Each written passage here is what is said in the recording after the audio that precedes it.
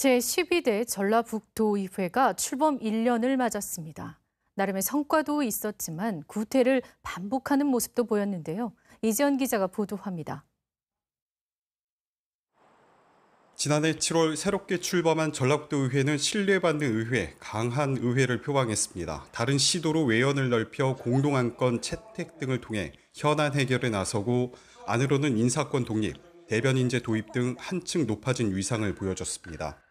지난 1년 동안 조례안 190여 건과 건의안과 결의안 70여 건 등 400건이 넘는 안건을 처리했습니다. 이 가운데 의원 발의 안건은 250여 건으로 역대 가장 많습니다. 2차 전지 특화단지 유치와 전북 특별자치도 지원 등을 위한 6개 특위를 구성해 왕성한 활동을 이어왔습니다. 인사청문 대상 기관을 5개에서 9개로 늘리고 갑질과 성폭력을 포함한 4대 폭력 관련 사항을 공개하도록 하는 등 후보자 검증 기능도 강화했습니다. 유급 휴가라는 비판을 받아온 출석 정지 의원의 의정비 수령도 조례를 손질해 제안했습니다.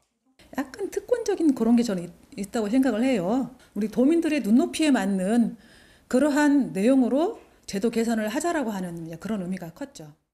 하지만 구태는 여전했습니다. 음주운전을 하다 경찰에 적발되는가 하면 갑질로 공무원 노조에 반발을 사기도 했습니다.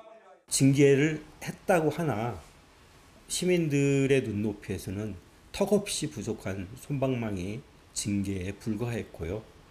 어, 이런 것들을 어, 새롭게 제도를 만들면서 앞으로 강력하게 대응하겠다라는 것에 대해서 도민의 대의 기관인 전라북도 의회가 집행부 감시와 견제라는 본연의 역할을 충실히 이행하며 소수정당에 대한 배려와 협치로 일당 독점의 폐해를 극복해 나갈 수 있을지 지켜볼 일입니다.